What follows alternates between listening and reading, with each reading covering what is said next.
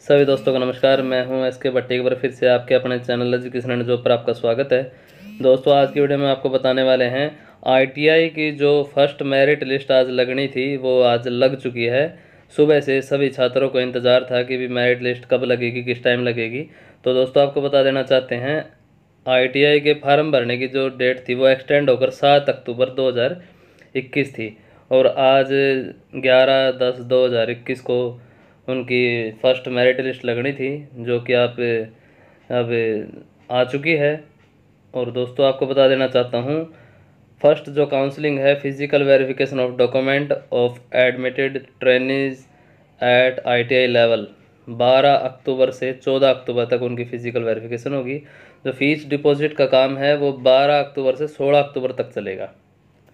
तो दोस्तों, इसी प्रकार जैसे display on off vacant seat for second round है, जो 18 अक्टूबर को दिखाया जाएगा, और जो काउंसलिंग है वो 18 से 20 अक्टूबर तक चलेगी, और मेरिट कम सीट अलॉटमेंट जो सेकंड राउंड की है, वो 22 अक्टूबर को लगेगी। इसी तरह सेकंड काउंसलिंग है 22 अक्टूबर से 24 अक्टूबर तक चलेगी, और उनकी फ़ीस है जो 22 से लेकर 26 तक उनका भुगतान किया जाना है। फिर उसके बाद में 28 अक्टूबर को तीसरे राउंड के लिए जो वैकेंट सीट बचेगी, वो डिस्प्ले की जाएँगी। जिनके लिए 28 से लेकर उनतीस अक्टूबर तक पोर्टल खोला जाएगा और उसकी जो मेरिट लिस्ट है, वो जो सीट अलॉट होंगी, वो सेकेंड नवंबर को होंगी और उनका फ़िज़िकल वेरिफिकेशन दो नवंबर से लेकर छः नवंबर तक होगा और उनकी फ़ीस के लिए दो नवंबर से आठ अक्टूबर आठ नवंबर तक का टाइम होगा। और जो फोर्थ काउंसलिंग के लिए जो डिस्प्ले की जाएँगी सीट वो दस नवंबर को की जाएँगी। और दस नवंबर से बारह नवंबर तक उनका पोर्टल खोला जाएगा, जिसकी पंद्रह नवंबर को सीट अलॉटमेंट दिखाई जाएगी, जो फोर्थ काउंसलिंग के लिए होगी।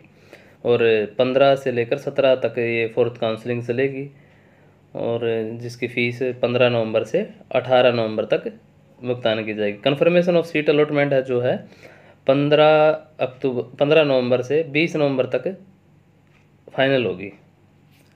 तो दोस्तों, इस प्रकार के बड़े बड़े अपडेट्स पाने के लिए चैनल के साथ जुड़े रहें।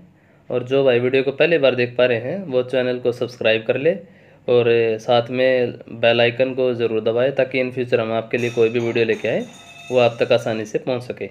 धन्यवाद।